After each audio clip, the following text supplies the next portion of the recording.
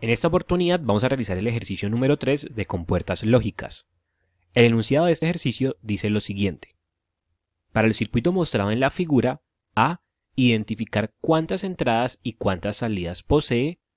B. Identificar las compuertas lógicas presentes. C. Representar el circuito por medio de una ecuación. Y D. Obtener la tabla de verdad.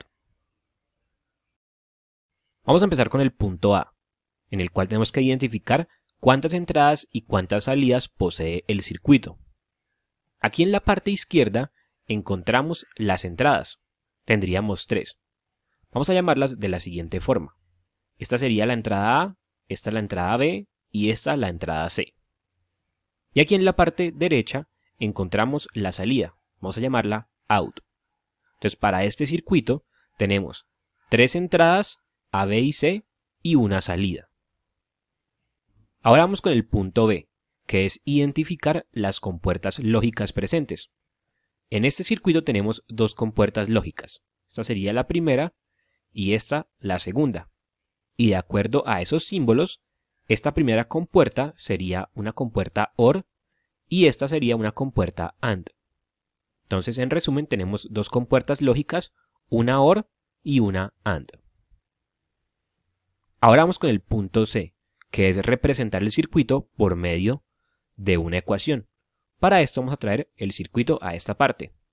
Y aquí tenemos las tres entradas A, B y C.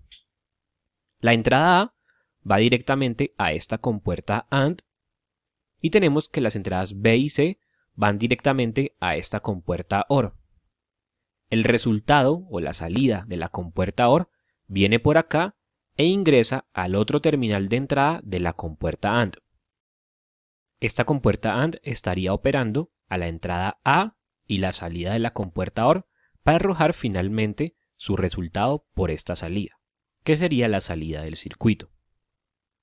Teniendo esto en cuenta, vamos a establecer la ecuación del circuito. Entonces, en primer lugar tenemos que las entradas B y C llegan a la compuerta OR. Recordemos que la ecuación o la función de una compuerta OR es la suma de las entradas. Entonces aquí en la salida de la compuerta OR tendríamos la suma entre la entrada B y la entrada C. En la compuerta AND tendríamos por esta línea ingresando la entrada A y por esta línea ingresando la suma de B y C. La ecuación o función de una compuerta AND es el producto de las entradas. Entonces aquí a la salida tendríamos el producto entre la entrada A y la suma de las entradas B y C. Tendríamos A por B más C. Entonces finalmente la ecuación sería que out es igual a A por B más C. Vamos con el punto D, que es obtener la tabla de verdad que representa a este circuito. La tabla de verdad para este circuito posee cuatro columnas tres que corresponden a las tres entradas A, B y C, y la cuarta columna que corresponde a la salida. Esta tabla de verdad la podemos obtener de dos formas. La primera forma es analizando el circuito de acuerdo a las diferentes entradas y diferentes compuertas. Y la segunda forma sería por medio de la ecuación. Aquí vamos a utilizar la primera forma. Vamos a analizar el circuito y luego vamos a comprobar esos resultados con la ecuación. La primera combinación de entradas que tendríamos sería cuando todas las entradas valen 0. Entonces tendríamos por acá 0, aquí 0 y aquí 0. A esta compuerta OR estaría ingresando por acá un 0 y por aquí un 0.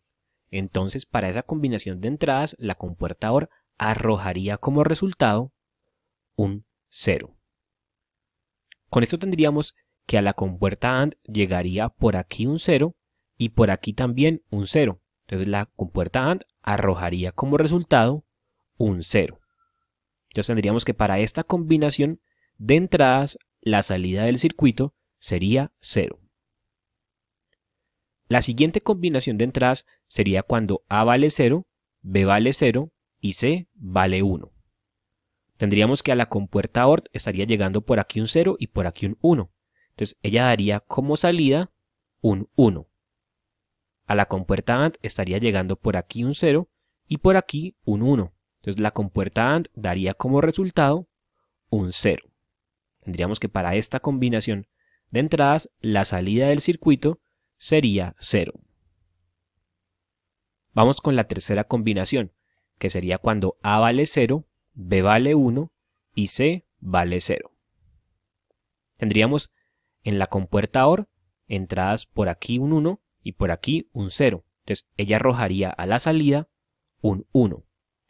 A la compuerta AND estaría llegando por aquí un 0 y por aquí un 1. Entonces arrojaría a la salida un 0. Para esta combinación de entradas, la salida del circuito sería 0. Vamos con la cuarta combinación, que sería cuando A vale 0, B vale 1 y C vale 1. A la compuerta OR estaría llegando por acá un 1 y por aquí también un 1. Entonces a la salida tendríamos 1. A la compuerta AND estaría llegando por aquí un 0 y por aquí un 1. Entonces a la salida tendríamos 0. Para esta combinación de entradas, la salida del circuito sería 0. Vamos con la quinta combinación, que es cuando A vale 1, B vale 0 y C vale 0. A la compuerta OR estaría ingresando por aquí 0 y por aquí también 0. Entonces la salida sería 0. A la compuerta AND ingresaría por acá un 1 y por aquí un 0. Entonces la salida sería 0. Para esta combinación de entradas, la salida del circuito sería 0. Vamos con la sexta combinación, que es cuando A vale 1, B vale 0 y C vale 1. A la compuerta OR estaría ingresando por aquí un 0 y por aquí un 1. Entonces a la salida tendríamos un 1. A la compuerta AND ingresaría por aquí un 1 y por aquí otro 1. Entonces a la salida tendríamos un 1. Para esta combinación de entradas, la salida del circuito sería 1.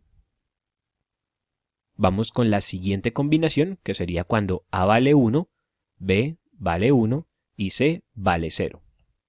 A la compuerta OR estaría ingresando por acá un 1 y por aquí un 0. Entonces a la salida tendríamos 1. A la compuerta AND estaría ingresando por aquí un 1 y por aquí también un 1. Entonces a la salida tendríamos 1. Para esta combinación de entradas tenemos que la salida del circuito es 1. Y para finalizar vamos con la última combinación, que es cuando todas las entradas valen 1. A la compuerta OR estaría ingresando por acá un 1 y por aquí también un 1. Entonces a la salida tendríamos 1. A la compuerta AND ingresaría por acá un 1 y por aquí también 1. Entonces a la salida tendríamos 1. Para esta combinación de entradas, la salida del circuito es 1. Con esto ya tendríamos finalizado el ejercicio. Pero ahora vamos a verificar estos resultados que obtuvimos de forma analítica con la ecuación. Entonces vamos a reemplazar cada una de las combinaciones de entrada en esta ecuación que tenemos acá. Para la primera combinación, cuando todas las entradas valen 0, tendríamos que la salida sería igual a 0 por 0 más 0. 0 más 0, hacemos primero la suma, nos daría 0. Entonces nos quedaría 0 por 0. Y eso es igual a 0, tal como tenemos acá. Vamos con la segunda combinación, cuando A vale 0, B vale 0 y C vale 1. Tendríamos que la salida sería igual a 0 por 0 más 1. Hacemos primero la suma. 0 más 1 nos da 1. Entonces nos quedaría 0 por 1. 0 por 1 es igual a 0, tal como tenemos acá. Vamos con la tercera combinación. Cuando A vale 0, B vale 1 y C vale 0. Tendríamos que la salida sería igual a 0 por 1 más 0. Hacemos primero la suma, 1 más 0 nos da 1, nos quedaría 0 por 1. Y 0 por 1 es igual a 0, tal como tenemos acá. Vamos con la cuarta combinación, cuando A vale 0, B vale 1 y C vale 1.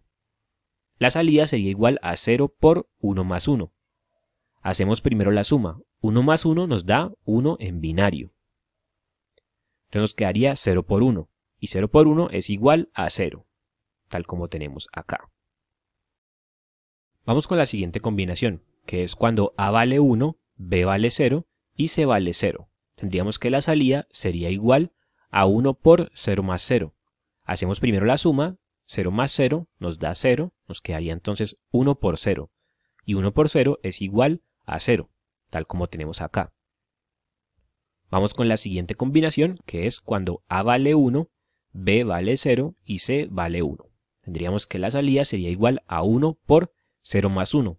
Hacemos primero la suma, 0 más 1 nos da 1, entonces nos quedaría 1 por 1. 1 por 1 es igual a 1, tal como tenemos acá. Siguiente combinación. Cuando A vale 1, B vale 1 y C vale 0. Tendríamos que la salida sería igual a 1 por 1 más 0. Hacemos primero la suma, 1 más 0 nos da 1, tendríamos 1 por 1 y 1 por 1 es igual a 1, tal como tenemos acá.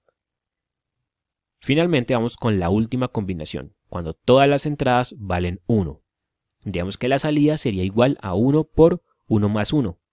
1 más 1 nos daría 1 en binario y 1 por 1 sería igual a 1, tal como tenemos acá. Podemos ver que estos resultados obtenidos con la ecuación nos dan idénticos a los resultados obtenidos de forma analítica. Y ya con eso tendríamos el ejercicio resuelto.